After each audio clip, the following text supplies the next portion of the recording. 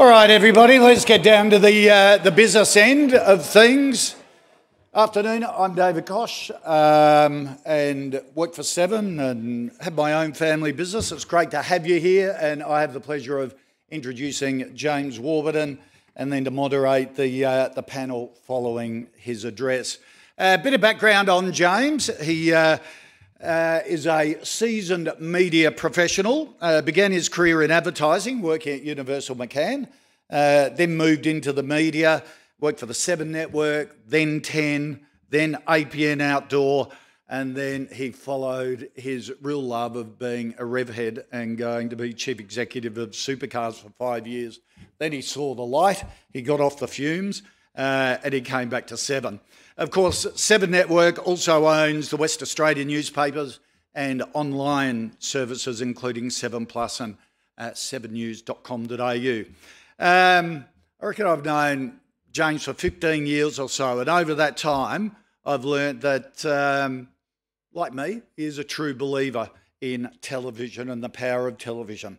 It's great to see industry leaders getting out and talking about why the industry is so good and why it will continue to succeed in the era of streamers competing for viewers and digital platforms competition for, for advertisers. And uh, there are plenty of doomsayers out there, but uh, uh, there have been, I think, for about 15 years and continue to be proved wrong. So, James is going to spend the next 25 minutes or so reminding us of why free to air TV in Australia is such a great service and where it is heading, most importantly, into the future because it's disrupting itself as well.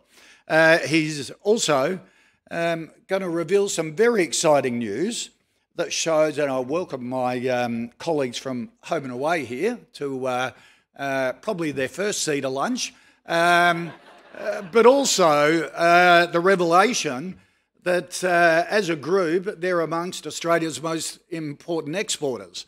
Um, Ray Meagher asked whether he could apply and be an export grant into the future. I said he'd have to get better advice than that.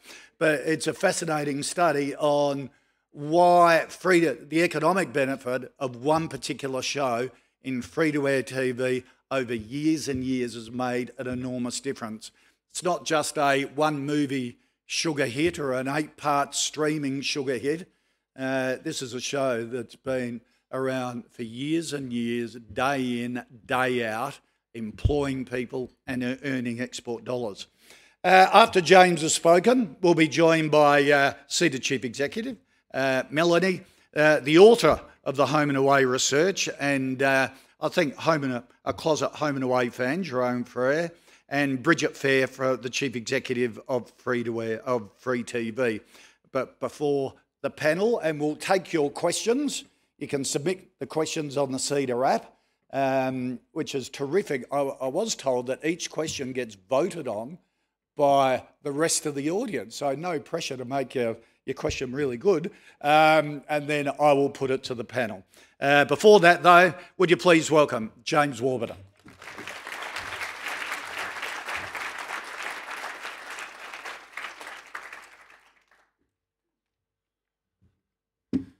Well, thank you, Kochie. Uh, good afternoon, everyone, and um, thank you to Melinda uh, from CEDA uh, for the opportunity to speak this afternoon. Uh, I'd also like to acknowledge our First Nations people as the traditional owners and sovereign custodians of the lands on which we work and live, and pay my respects to their elders past and present. I've worked in television for 34 years now, which actually means I'm unfortunately getting old. First in media agencies, and then, as Kochie said, as MD and CEO of two of our three free to air networks. I absolutely love television. As an industry, it's an absolute buzz. It moves at a rapid pace. It gets a scorecard in the terms of audience measurement every single day, even Christmas Day. And what it does, what it creates, truly and deeply matters to many Australians. It drives conversations and sets the agenda. Sunrise's wonderful Natalie Barr said to me recently, James, I've been reading the news for 14 years. And when I go to sleep at night, I have absolutely no idea what I'll be doing or talking about tomorrow at 5:30 a.m. when you wake up. And that embodies what we're all about. Every single day, we bring Australians the best news on a live and local basis. unforgettable sporting moments, great Australian entertainment and information content. It's an escape from the everyday for many people and the honour of being an invited guest into people's homes and even more so now onto their own personal devices is something that's never ever been lost on me. And I love how television is evolving. For as long as I've worked in it, the naysayers have claimed that we're a dying industry, as Kochie said in the beginning. Seven is viewed as a legacy media with a multiple valuation to match what people see as a declining industry. Now, of course, you'd expect me to disagree, but time and time again, the facts prove this wrong. It's something that really frustrates me, but it's our fault. We haven't told our story clearly enough or strongly enough. There's no doubt we're changing and doing so at pace. And in changing, we are building an incredibly sophisticated offer that cannot be replicated in size and in scale. TV as you know it, the thing hanging on the wall with a remote control to change channels, is not television at all. That set on the wall is just part, albeit at a very important one, of a video ecosystem we call total television. And that total television market is much bigger than you think. It's growing, it's digital, it's mobile, and we're tapping into those growth markets at a staggering rate. Take the state of the streaming market globally and locally. And the assumption until recently was that the streamers would just roll over the top of the legacy business, the older legacy media businesses. But with a $100 billion global investment in content, none of the streamers are making any profit. And I think it's a great case study for legacy media.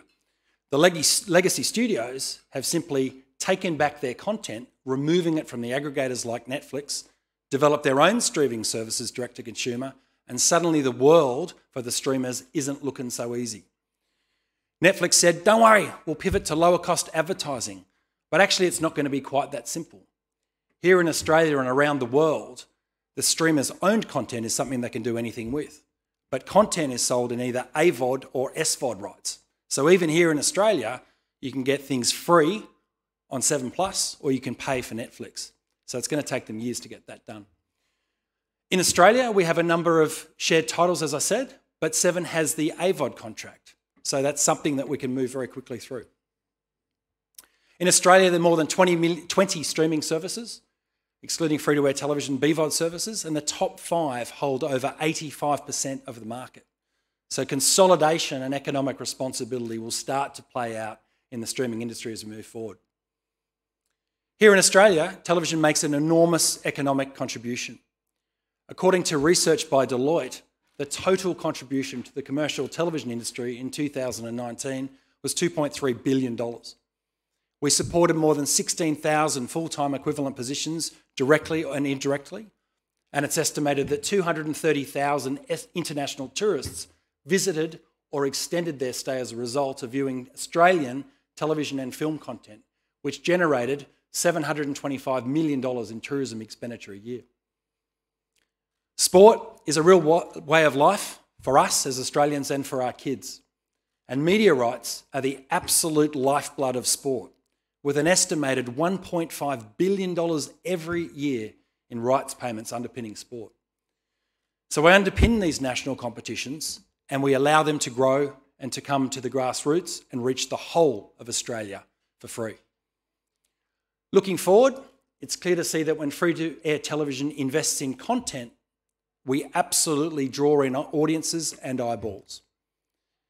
When you consider this chart and look at the left, we are not in decline, we are actually growing our audiences.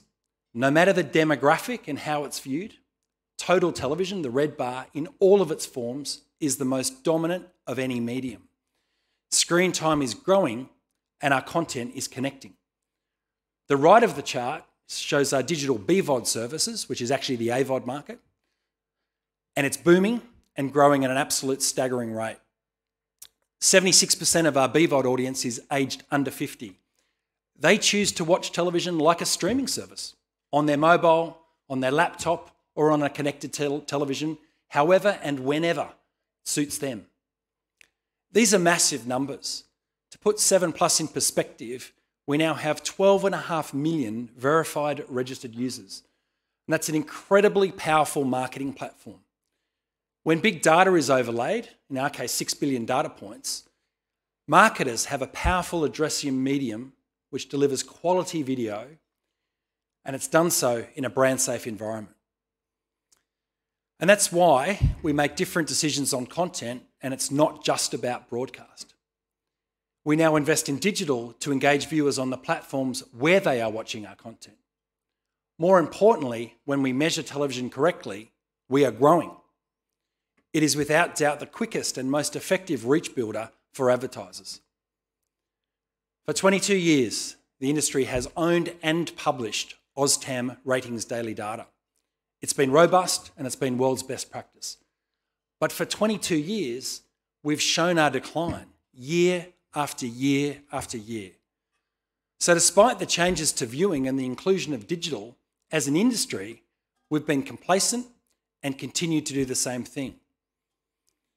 At Seven, we've been leading the charge on changing the way our audiences are measured and reported.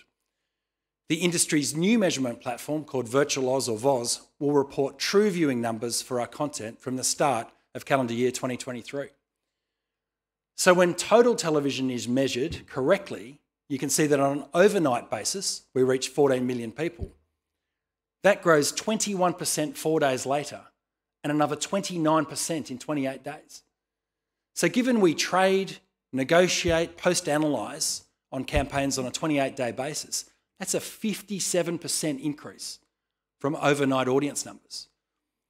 So, the challenge I put to my peers in TV is simple let's get rid of the overnights, even just for a month, and let's start telling the real story. And that's exactly what happens in the UK and the US, where they focus on three days and seven days in terms of ratings. We hear all the time that everyone is streaming with the inference that no one is watching television. These two charts show all video in the home and on every device.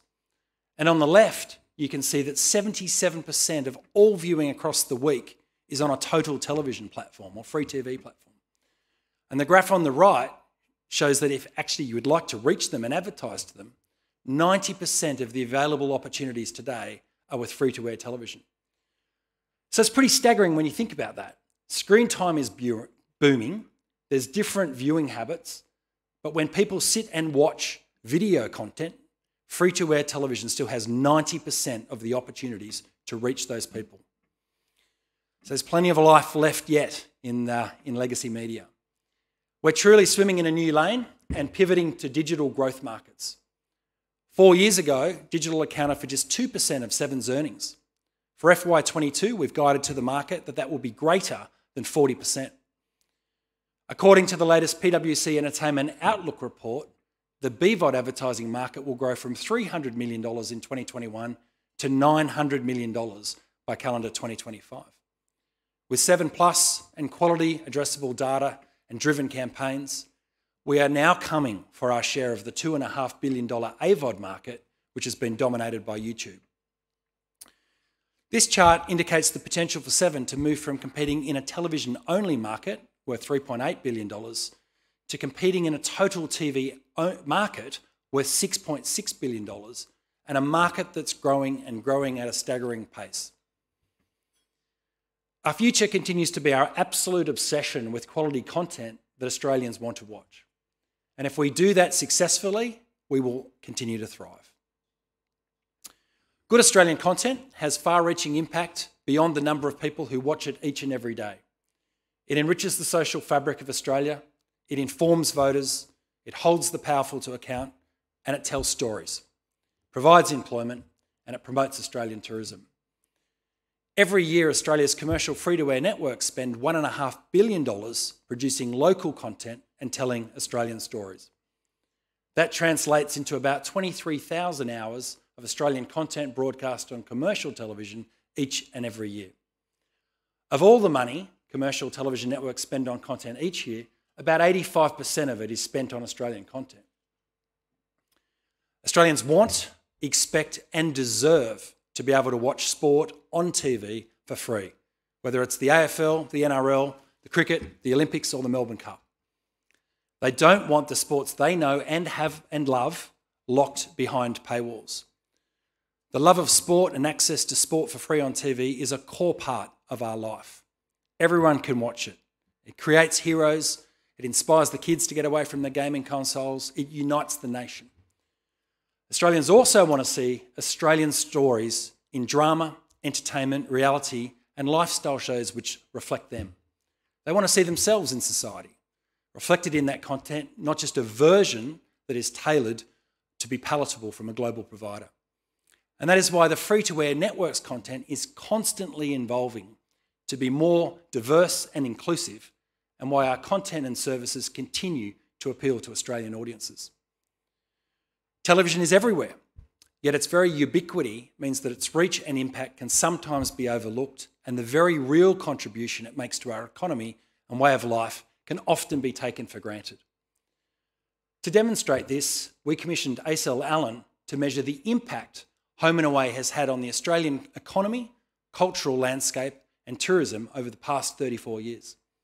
And I'd like to acknowledge our supercar cast and crew who are with us today from the show, or many are with us from the show, who are among the hardest working team you will find anywhere in Australian television. The results of the research being released today are pretty remarkable and they really quantify and highlight Home and Away's real impact on economic activity in the Australian production sector, tourism, and its significant contribution to our society. They underscore free to air's important role in shaping our national identity. From 1988 to 2021, Home and Away has been sold to 145 countries around the world. It generated export revenue of more than a billion dollars. It increased the real income of Australia by $7.5 billion. It created almost 13,000 employee years, and it directly contributed and indirectly contributed to Australia's international reputation, generating benefits through domestic and international tourism. Let's take a look.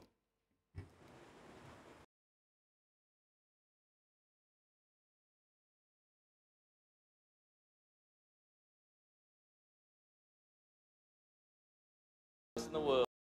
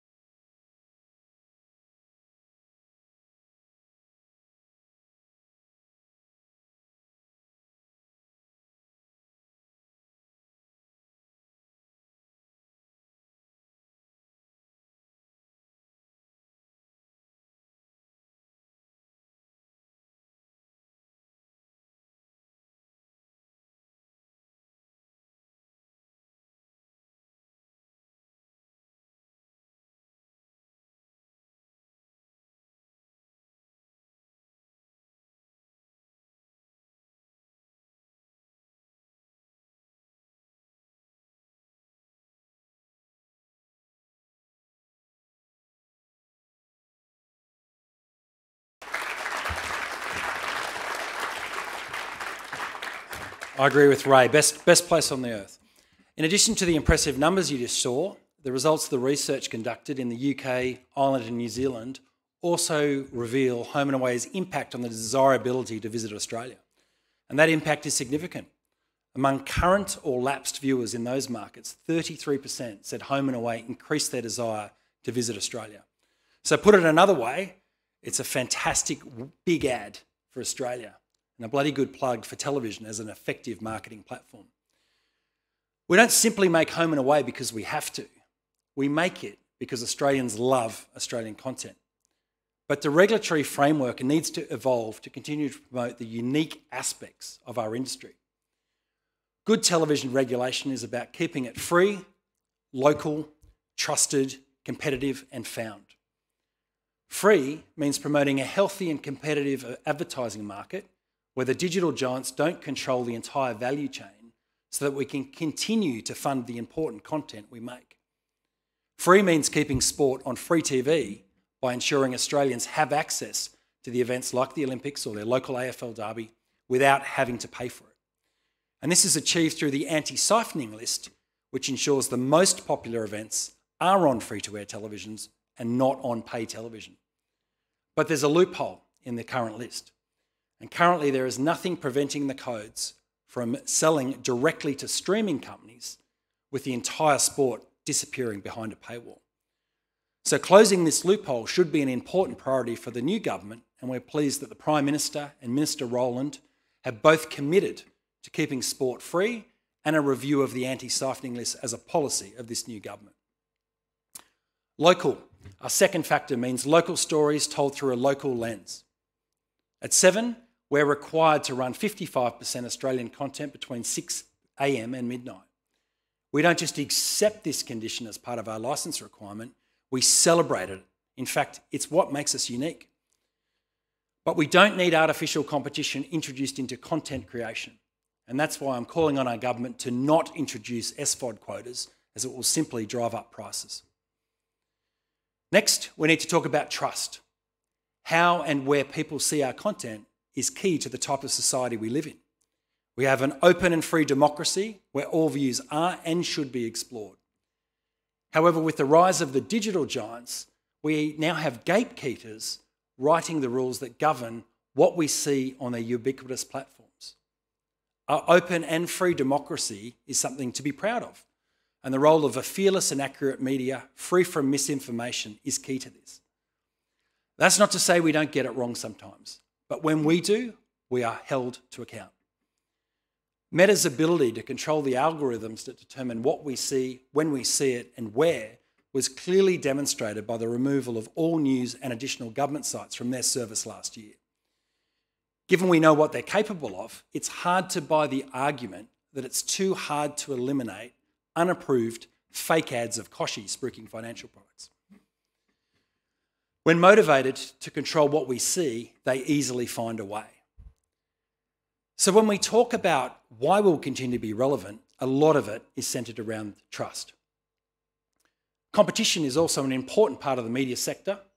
It ensures diversity of opinion, provides options for advertisers, and ensures a large variety of entertainment op options for Australian viewers. But the economy wide impact of the digital platforms on competition cannot be underestimated. In the Digital Platforms Inquiry, the ACCC uncovered that digital platforms have substantial market power. A bargaining imbalance is present and that they are unavoidable partners for so many. But what we have seen in the media sector is really just the canary in the coal mine. Digital platforms are now deep in the business model of so many Australian businesses and are essential to running a business in a modern economy. The global digital businesses have enormous power. Their tentacles are far reaching and cover sectors like finance, travel, and retail, just to name a few. So that's why the ACCC's March discussion paper for updating the competition and consumer law for digital platform services is such an important document, not only for media, but for the broader economy. In fact, I would say it's as important to us as the News Media Bargaining Code. The Digital Platform Services Inquiry, due to be completed in 2025, is broader than just our sector. It looks at the intensity of competition in markets for supply of digital platform services, including electronic marketplaces.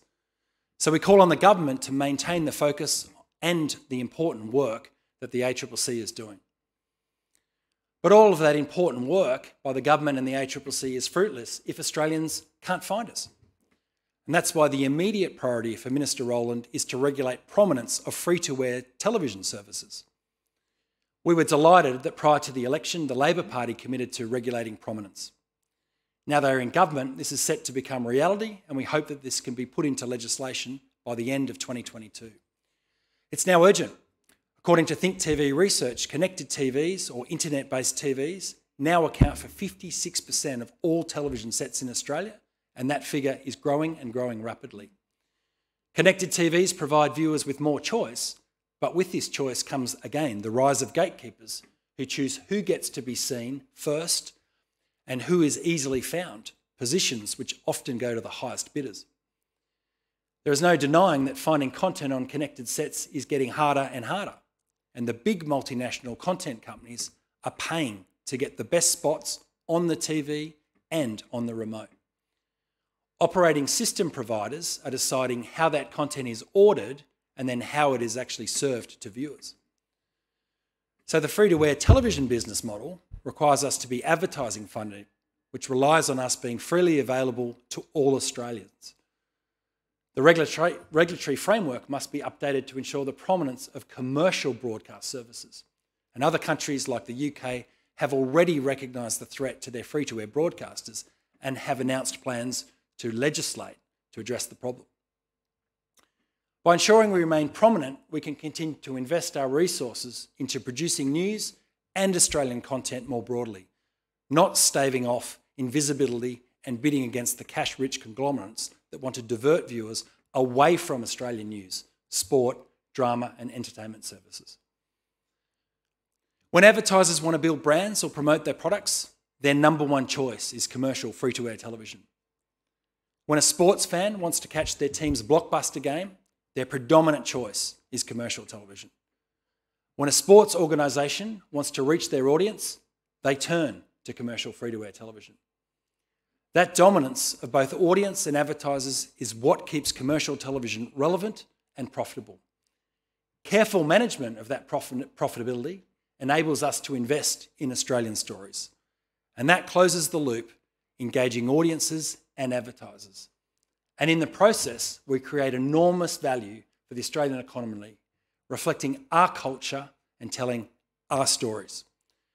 I'm incredibly optimistic and excited about the future of television. Thank you.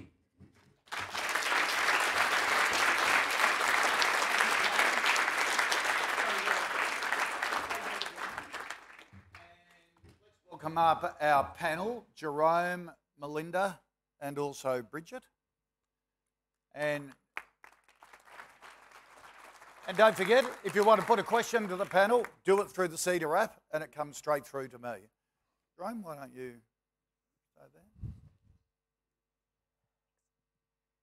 And while the panel comes up, James, why did you why did you commission uh, the report by Jerome and ACIL Allens? It, it's one show um, on a 24 7 television network. So it's only a tiny bit of it, but the numbers are massive.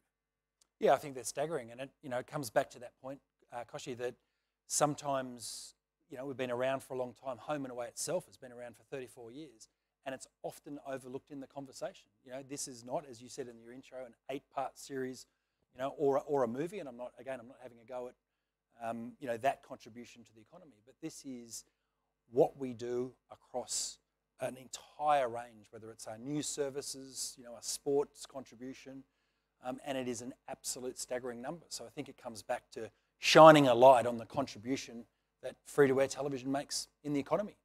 Just as a snapshot, how many people does Seven employ? Because it's not just home and away; it's that that jobs day in day out, isn't it? Yeah, absolutely. I mean, uh, you know, I think when you look at the overall footprint you know, we're just under the sort of the 2000 uh, level, um, you know, in terms of employment. But as we scale, you know, every time we're producing an AFL match or, you know, producing shows, we have a lot of our production companies uh, here today when we, you know, go and um, commission Big Brother or Million Dollar Island or any of the shows that we do. You know, we employ enormous crews, um, you know, across the board. And so it comes back to that overall, you know, sort of benchmark um, on the Deloitte report in 2019. But it is a huge industry and it, and it has you know, massive levels of reach uh, across the Australian market, Must telling our stories. You know, when I found out I was doing this, I, I sort of checked how many people does Netflix uh, employ here in Australia. I didn't realise its parent company was Dutch based, um, but it worked out my little family business employs more people, and I reckon I pay more tax than them here in Australia. I'm thinking, how can that happen? it's ridiculous. Um, Melinda, also, it shines light, the home and away report, on just how important the creative industries are to the Australian economy, does it? On, and the ripple effect through so many other industries. Yeah, look, um, I was pleased that we could, we could help you sort of promote um, these issues and, and the report. Um, one, because I'm an economist, so I'm an economics nerd, so I love an economics report. But what it does is it shows the importance of, of one show, but also the industry more broadly. Um, and the reach is, is phenomenal in terms of, as you said, um, jobs, um, opportunities created for people. And if you look at the, I mean, look at the cover of the report, we saw the video. I mean, if that's not promotion for Australia and people wanting to come and see what an amazing place this is, and I suspect the report actually underestimates what that flow and effect is because it's really hard to pin that down. So you, you underestimate rather than put a, a really big number out there. So it's, it's really significant. And the final point I think is that you're sort of touching on everyone, there's a lot of focus on what we do well and the mining and resources and all the rest of it. Really important. There's a lot of talk about technology and STEM, but the thing that's often missing from that is the important role that creativity plays in that, um, and the intersection of creativity um, and the enablement of technology to actually allow new things to be done that we never thought we could. And we're seeing in Australia that we can do that, and we need to shine more of a light on that and the importance of things that you might look at and think, well, where does that sit? But you read about it, we all know the stories. Australians who've started here and gone off, they're making connections, they're creating an image of what is, the, what is possible. So I just think it's a great story. And, and we're really good at it in this country. Um, uh, Sam Mac on Sunrise's Weather today was um, going through Vivid, and one of the displays was designed by Animal Logic. Well, here's a business that is world class, has won Oscars, and is a massive employer, isn't it? Mm. And develop technology that is global standard. Look, and uh, if you look at a, at a story like Tasmania, Tasmania was really struggling for a long time, and it's recreated um, energy and dynamism in its economy and in its broader community on the basis of creative industries um, and opportunities. So uh, it's, it's really important that we don't lose sight of that, and that, that extends all the way across the spectrum, including the sort of content that, that's been created through a, a program like Home and Away. Jerome, you did the study. Were you surprised at the impact this just one single show had on the economy?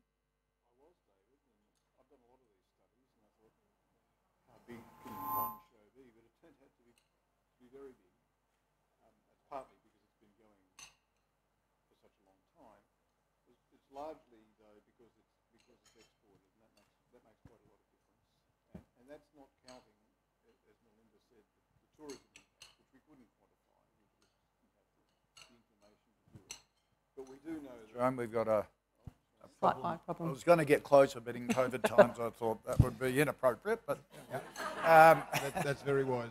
Uh, um, as I was saying, um, yep, the, the, tourism impact uh, we couldn't quantify it, but we do know generally the tourists when they when they come to Australia spend a lot of money because it's it's a long way and, and it costs a lot to get to come here, so they they stay for quite some time, and home and away um, attracts tourists to Australia a, lo- a, lot of them, and that, that's on top of the numbers that we found uh, yep. that we could estimate. So it, it, it's a very big deal, and that's just one TV show. I live on the northern beaches, and I know there are plenty of flaming home and away fans that take the reservations at our local restaurants as they come up to try out Summer Bay. That's for sure.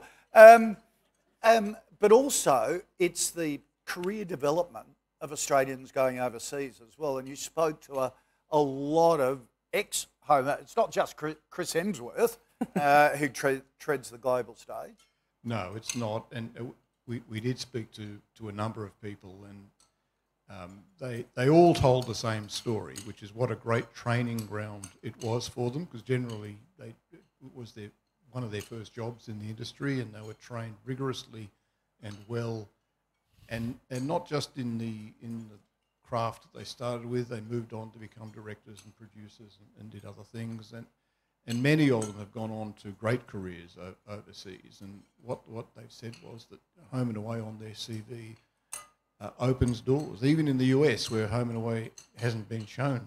I think they know it. They know it there. They know how well people are are, are trained and, and, and how good they are, and, and it's it's a real career developer for people in the industry. Uh, Bridget, you've worked for a number of the networks. Now you, you represent the industry all up. Um, it is pretty annoying the number of people that go, "Oh, free to air TV is a dinosaur. It's it's going out of favour. It's not disrupting itself." But I think what James's address showed and Jerome's report is that it has been disrupting itself, but we just haven't been measuring it properly. We're almost our, our own worst enemy, aren't we? Well, yes, um, we, we really do need to do a better job at telling that story about how wide our reach really is.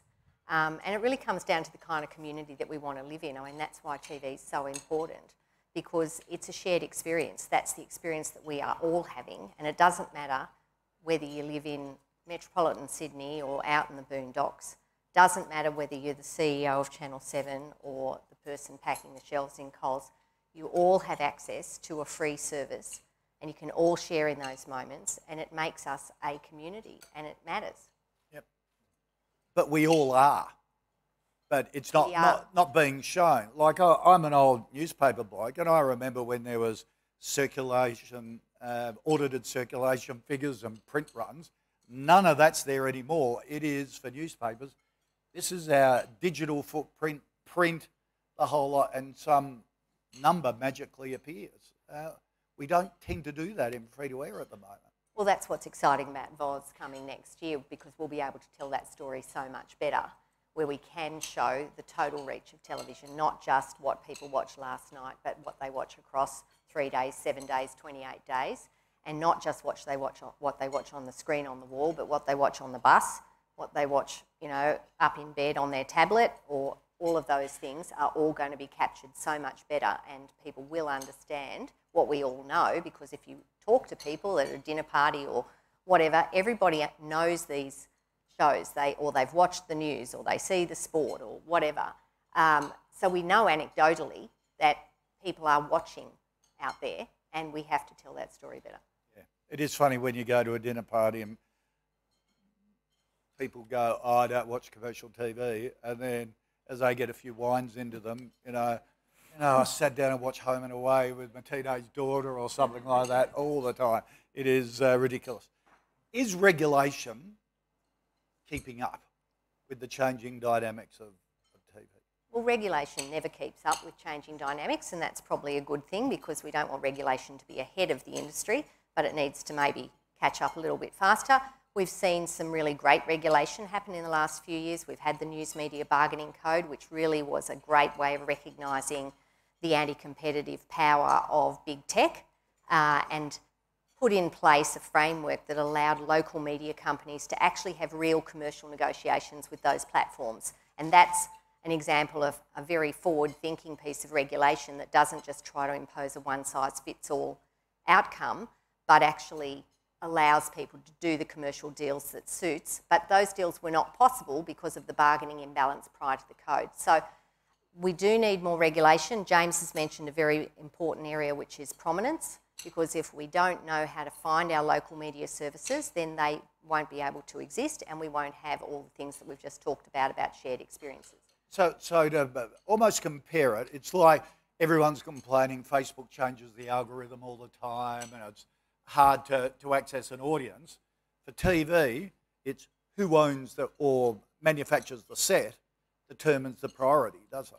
Yeah, I mean, look, the- even 10 years ago, if you went home with a TV set from the shop, put it up on the wall, up would pop all your channels, and off you go to the races. Great, watch whatever you like. Now, you're basically hanging a big computer on your wall, and whoever controls that operating system inside that computer controls the experience that you will have and the content that you can find. Um, James, just run us through the figures on how Australians love Australian content. I mean, it's you know, it's predominantly what drives you know television. So it's often not sexy to talk about, but one of the shows, or two of the shows possibly, in terms of two of the networks that are top one or two most nights, is still the local news services. And these are not news services. You know, it's not like we do a national news out of Sydney. We're doing a Sydney about a Sydney, Melbourne, Brisbane, East Coast, Gold Coast, you know, New England, you know, you name it all the way across the country. And so in our case, we're doing 52 regional bulletins and we're doing about nine, you know, including, including spill regions. So that's an enormous commitment um, every single day. That's actually the number one show on television. Sport is up there as well, you know, in, you know, in terms of the relativities. And then we're, we're really doing a lot of, you know, what we call, you know, stripped reality or, you know, sort of tentpole style programs as well, whether it's Big Brother or The Voice, um, you know, in, in our case. And so these are not just about those overnight numbers, they're about the streaming minutes as well. You know, so you look at something like Big Brother, and it has an overnight number and it gets judged in the trade media. And you know, this is our fault because we put these daily numbers out. And in a week's time, you know, that is another 60, 70% audience on top of that overnight number. Yep. You know, Home and Away is about the number three um, program every night in streaming. So, you know, again, there's an enormous amount of people that go home on the bus and you know they they actually um, you know watch Home and Away on the way home on the bus, and they don't have to watch it at seven o'clock or seven o one. They can watch it whenever they want, whether they you know watch last night's, watch you know watch something at seven thirty. So it's a very different world we live in, and we need to lean forward into that. We've almost got agreement you know, from all the networks to go forward. There's one um, you know, which we're waiting on to actually make the steps and make the changes, um, you know, that I spoke about today. And I won't say which one it is because that would probably be counterproductive. Oh, come on. It's not us. it's not us, in case you. Uh, power, power of sport, of course, is is huge. It's real life drama um, every second that you're watching. How important is that to keep access free? We just saw Optus Sport sort of ratchet up its pricing. Uh, was it 60% or something? Its pricing went up? Yeah, no, absolutely. I mean, I think that, you know, again, you know, the legislation, uh, 1982, I think, Bridget, from memory, isn't it? 92. Uh, 92, 92, um, was geared around pay TV. And now we have, you know, sort of all these streaming companies. And so you have to think about a number of things. You don't just think about what the service is and what you might have to pay for it $6, $8, $12, $15. You actually have a broadband plan and you have a cap and you obviously have all your data as well. So by the time you piece it together, it is getting to be a very expensive, you know, sort of experience uh, for Australian consumers. But let's not forget that we've got communities. So it's lovely when we sit in, you know, an urban city like Sydney where the internet's pretty good. But when you think of some of the remote regional areas, I mean, people are chewing through data in four days, in five days. Mm. There's communities where, you know, the internet is not as reliable as the vast network where we, you know, send out our signal, uh, and it is available, you know, for free. So it's it's an interesting area, and as, as I said in the speech, you know, we've had you know fantastic commitment from the Labor government, uh, Minister Rowland, you know, who has an um, outstanding um, perspective uh, on our industry, and we're seeing it in the UK. So we feel that with prominence and the anti-siphoning list being updated to actually take in streaming services, free to air will have a very, very, uh, you know, exciting future. We won't see these things disappear. Can I just jump in? Because also there's a very um, interesting case study about what happens when sport disappears off commercial television, and we saw it in the UK when they used to have a list like ours and a framework like ours, and they sort of dismantled it. And you had um, the Ashes and the English Cricket Board saying, oh, well, you know, that's okay, don't worry about that because it'll always be on free television, it's okay. Now, of course, along comes a big bucket of money from Sky, and the only place you can see the Ashes in the UK is on Sky.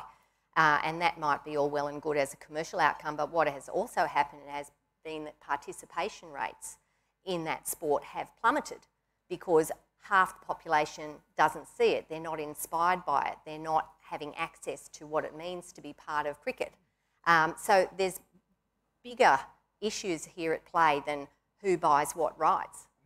So that's why they have an Australian coach and Kiwi captain. All goes back to Sky. Um, um, Melinda, also Australian content really showcases who we are as a country, as a culture, as a nation, and it's part of our identity overseas, isn't it? Yeah, it is. I'm going to come back to that. I just want to lean in on the regulation comment just, just yeah. briefly. And I think you sort of joked before, and I loved it, that we've got in the audience here people who wouldn't normally come to a CEDA event probably don't know who CEDA is, and the words economic development wouldn't cross their minds most days. But I think that it's really important to recognise that, particularly now with the rapid pace of technical, uh, technological evolution, that our economy and all the things that we do are being influenced by regulation and the, the nature of that regulation. Um, and it may seem like it's distant from each of you, but it does impact. Um, it's, it's impacting opportunities and it's impacting choices and it's impacting a whole bunch of things.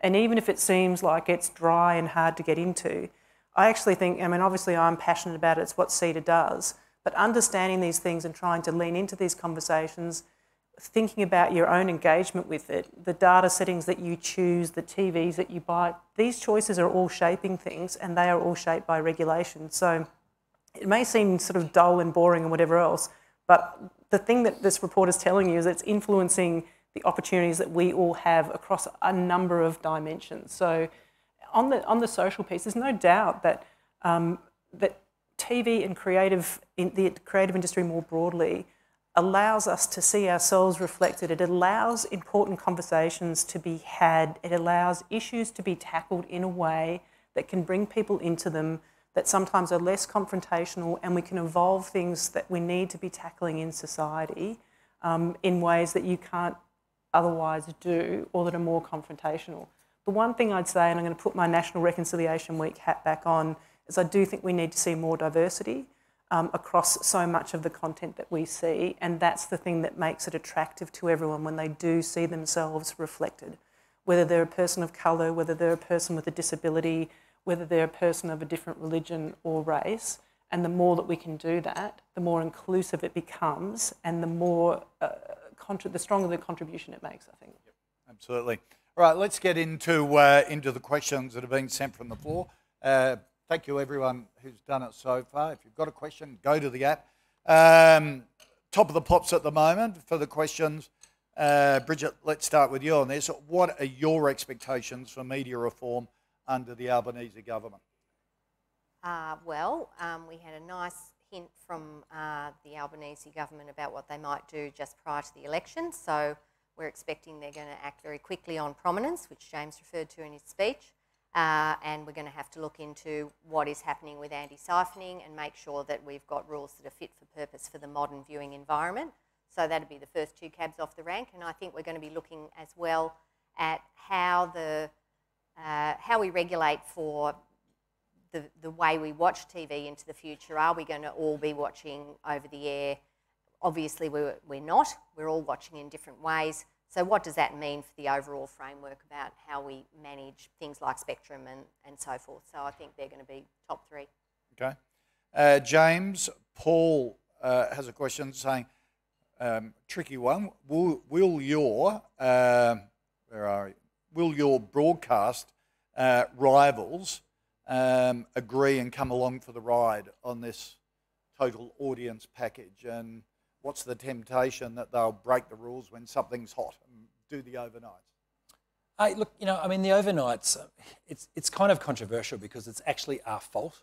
So we've put the overnights out for all these years, and then we got to time shift, and we never made a big deal of, deal out of it. Now we've sort of got the BVOD services, and we kind of we kind of try and get that out before the overnights. So the overnights exist in other markets. It's just that the other markets have moved to actually look at three day and seven day lenses. So they don't really pay too much attention on overnights. My suggestion to the industry is that we stop the overnights for a period of time. Let's say it's a month. And if we stop it for a month, then everyone will be focusing on the seven day, three day, you know, whatever we agree as an industry, numbers and sort of getting used to that, you know, cadence. And then once that's there, then we can put the overnights back in. Um, you know, we put out the seven day numbers, and the seven day numbers actually changed the rankings of the program. So you read today what happened last night and who's a winner and who's a loser and all those types of things. And Seven days later, that all changes. Clients buy on 28 days, so the actual transaction itself is based on 28 days, not seven. So it's just a really, you know, it's a really interesting thing, and we're pretty dumb, really, as an industry, that we haven't addressed that. You know, we've just let numbers smaller. So, you know, I think it's a, it's a, it's a huge issue for us. And one way campaigning hard, and of course they'll agree, Kochie. It's a great, it's actually an industry. It's actually good for the industry.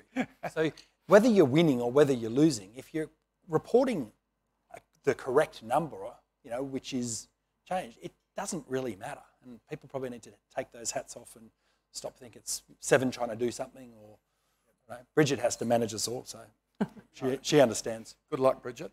Um, We're all uh, next question from Matt. Uh, not so long ago, a forum like this, uh, we did, there we go, we would never have expected a keynote speech about Australian content that doesn't talk about the public broadcaster or broadcasters.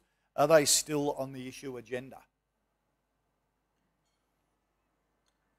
Say something on that? Well, I mean, I think public broadcasters are an important part of the overall mix. I don't represent them. I've worked for both of them though, um, and I do think they do important things. They do things that are different to commercial television, um, and that's great. And um, you know, they've got uh, a role to play. So, and they certainly do do Australian content. But I think what's tended to happen is that we think that some of the more highbrow stuff that we get from, uh, you know, ABC and SBS that you know fewer people watch is more important than stuff that millions of people watch and that actually is the, the things that are forming people's views about our society and you know the shared information that we have. So, um, you know, it's important to have a strong broadcasting sector, and we're lucky in Australia that we've got two strong national broadcasters and we've got a very healthy, competitive commercial television sector.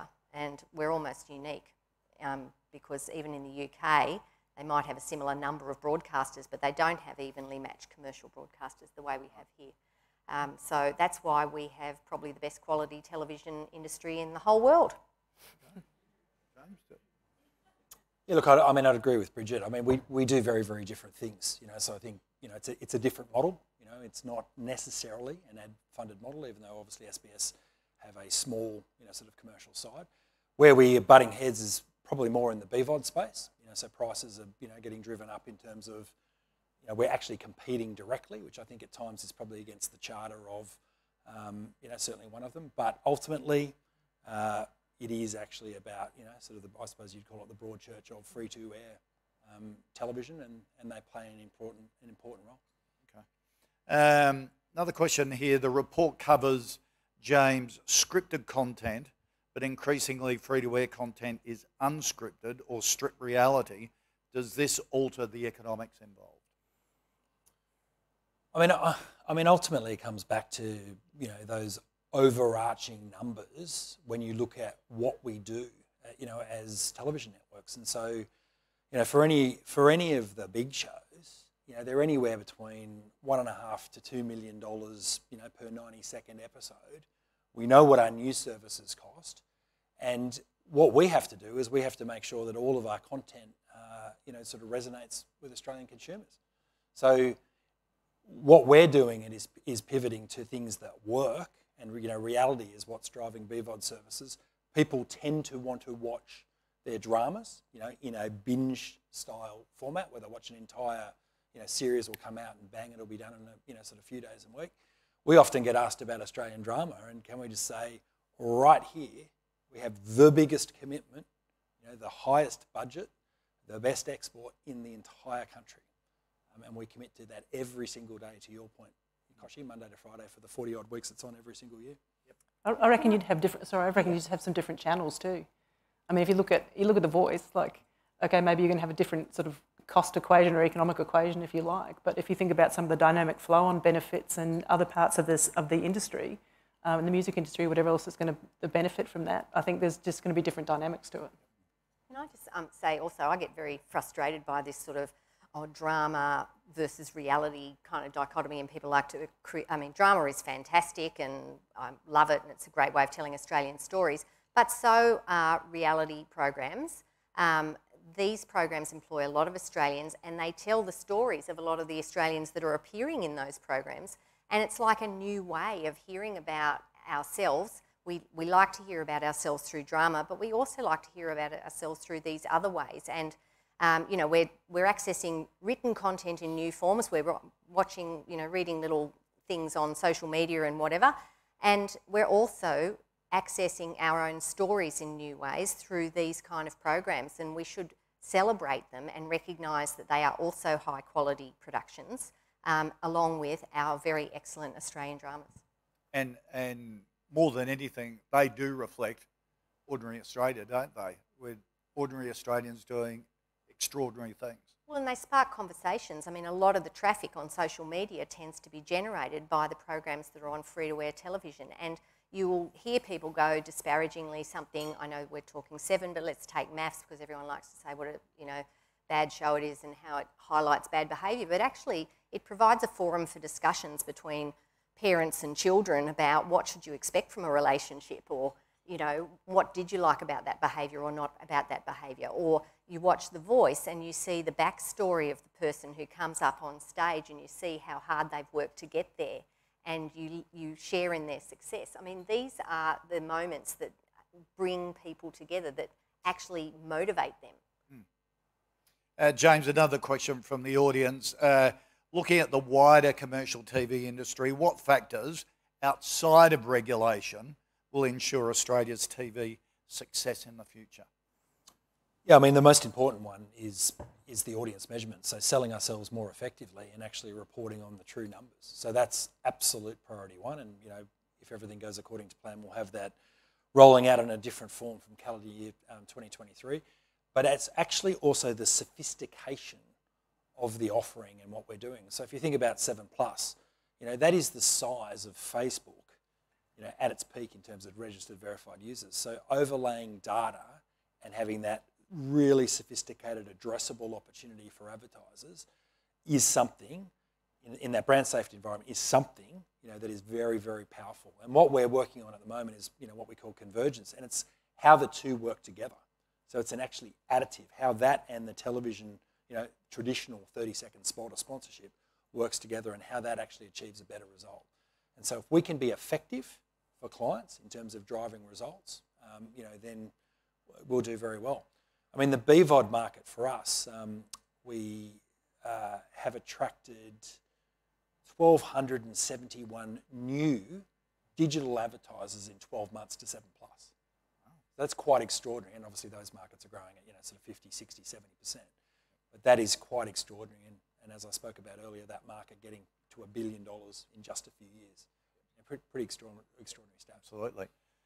It, uh, your voting system here at CEDA is fantastic. They jump all over the place as you uh, vote to see which is the, the most important. I lost track of time. And I uh, even had a message come up from, uh, from CEDA saying, basically shut the hell up. Uh, it's coming up to two o'clock. I was, was going to be sitting here going, yeah. yeah all right. I, I, was engaged. I found it fascinating. Um, ladies and gentlemen, would you uh, uh, would you join me in thanking uh, James, Melinda, uh, Bridget, and also Jerome for a great session? Sorry.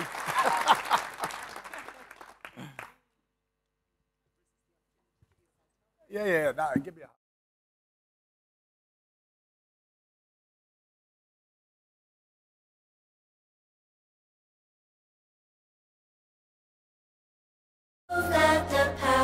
The Aussies dominating at the pool.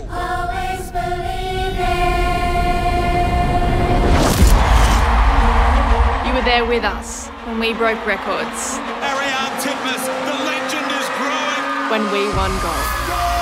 Emma McKeon, first Australian to win 10 Olympic medals. Now we're ready to do it again. We'll jump higher. Run faster. Peter Bol, he's into the final. Dig deeper. Throw further. Swim faster. We'll give everything. Because we know that all of Australia will be cheering us on.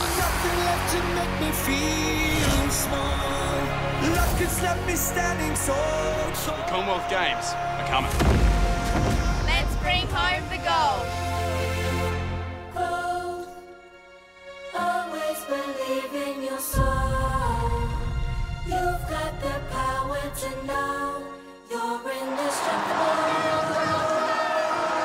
Let's go crazy, Australia!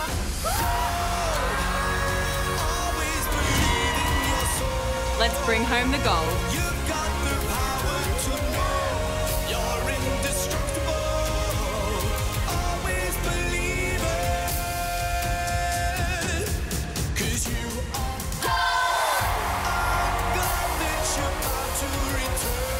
Record is 87 gold medals at the Commonwealth Games. This year, can we break that record? Gold, gold, gold. Let's bring it home, Australia. Get ready for a Commonwealth Games like no other on 7 and 7 Plus.